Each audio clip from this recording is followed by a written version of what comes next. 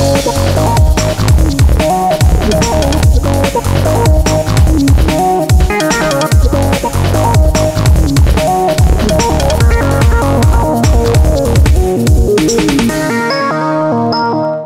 Здравствуйте, в эфире программа «7 минут». Уже который год археологи в прямом смысле слова пытаются докопаться до истины и узнать, что было много веков назад на территории Глебова городища.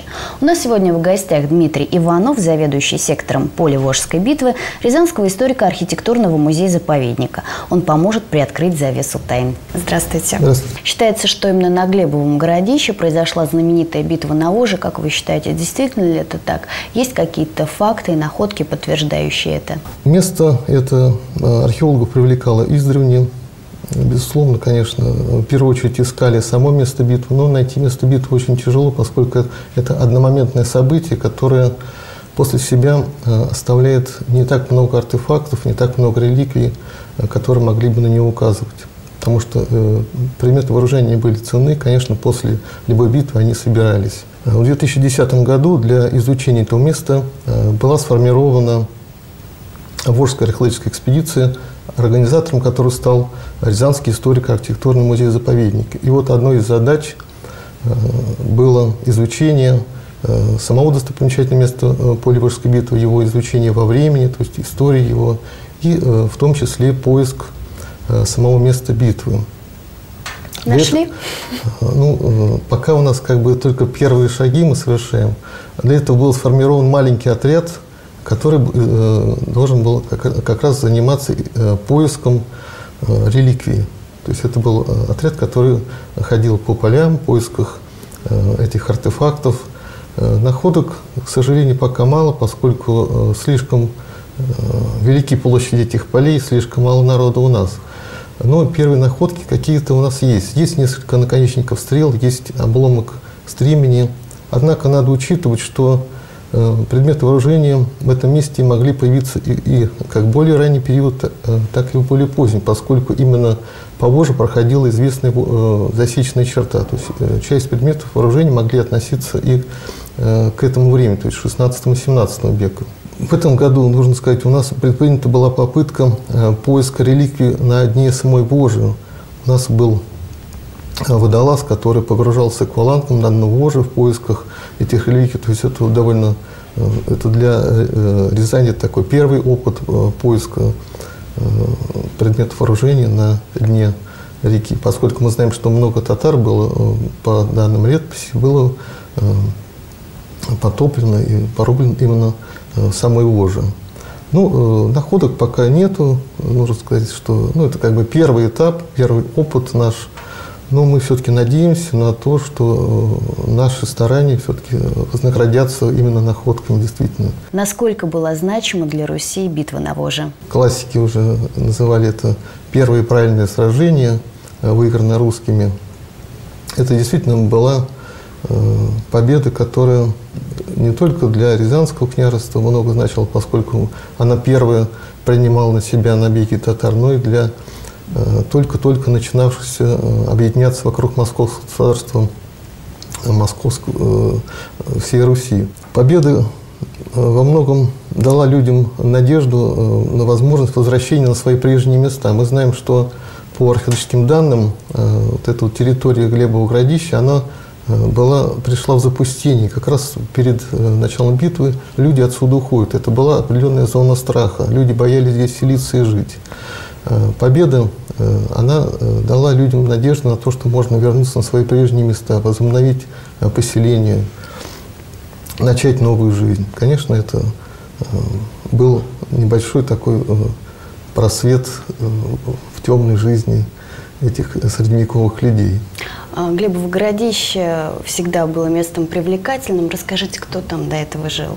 В 2010 году первая экспедиция, она как раз выбрала место для своего изучения – так называемый северный посад Глебового городища. Э, мы считаем, что само Глебово городище являлось э, тем самым летописным городом Глебов, который упоминается среди э, рязанских летописных городов. Город был сам по себе небольшой, то есть это малый город Руси, конечно, не сравним со столичными городами, но тем не менее имел довольно значительную площадь при э, маленькой укрепленной площади, то есть обнесенной э, земляными валами, он имел большую площадь неукрепленных посадов. Какие находки удалось обнаружить при раскопках? В 2010 году э, экспедиция обратила внимание на северный посад Глебово городища.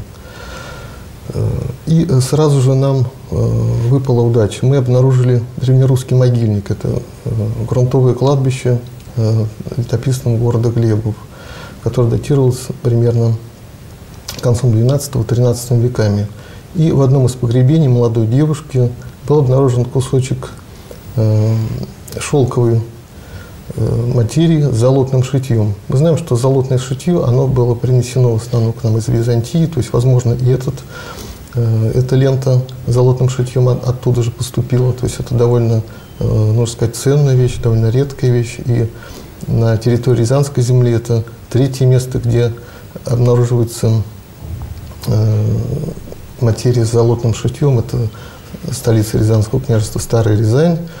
Это э, могильник, один из могильников под Пронском. И вот теперь на э, Глебовом городище мы знаем еще один пункт. Мы отдали этот череп в Москву, э, в Институт этнологии и э, антропологии Академии наук где э, там в лаборатории был, был выполнен э, пластическая реконструкция этой девушки. И теперь мы можем воочию посмотреть, увидеть, как выглядел человек, как выглядела девушка, жительница этого города Глебов. Это вот уникальная возможность, которая дается нам в ходе вот наших исследований. Что еще было найдено при раскопках на Глебовом городище? В 2011-2012 и, и вот в текущем 2013 году мы проводили свои исследования уже на восточном посаде Глебового городища, поскольку этот участок активно разрушается самой рекой и э, уходят многие артефакты, просто безвозмездно э, уходят в воду.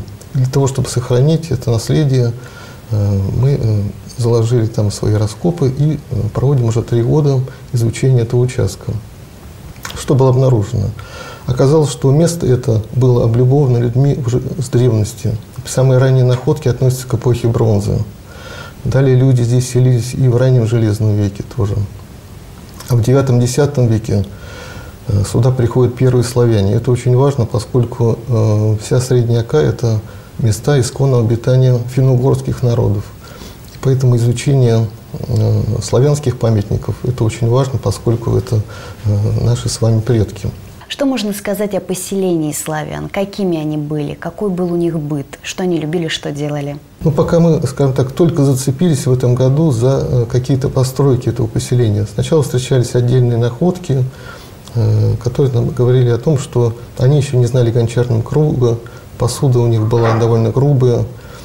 Э, вероятно, основой хозяйства было скотоводство – большое количество костей э, мелкого и крупного рогатого скота, а шерсть, которую они добывали с э, мелкого рогатого скота, шла на э, изготовление пряжи. Большое количество пряслиц было обнаружено как раз вот в наших раскопах, что говорит о том, что женщины очень активно занимались придением. В дальнейшем, конечно, раскопки покажут, когда мы будем изучать уже полностью какие-то постройки, когда обнаружим их, будет уже Э, картина более понятной. А скажите, что в ваших ближайших планах? Какие мероприятия планируете э, проводить? В планах наших э, продолжение, конечно, изучение восточного посада, потому что он активно разрушается. Нам хотелось бы спасти вот эту часть. Продолжение работ на северном посаде. Возможно, мы продолжим исследовать этого древнерусского могильника.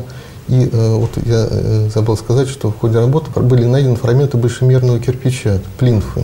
Это очень важная находка, поскольку она говорит о том, что, возможно, здесь было каменное строительство.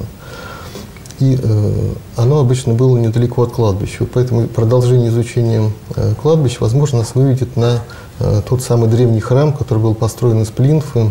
Вот, конечно, находка довольно редкая, интересная для нас. И, безусловно, в наших планах стоит проведение археологических разведок, то есть поиск новых объектов археологического наследия, в том числе и продолжение работ поискового отряда по выявлению реликвий, которые могут быть отнесены как раз самой э, битве на Воже 1378 года. Спасибо. На этом наша программа подошла к концу. Всего вам самого хорошего. До скорой встречи в эфире.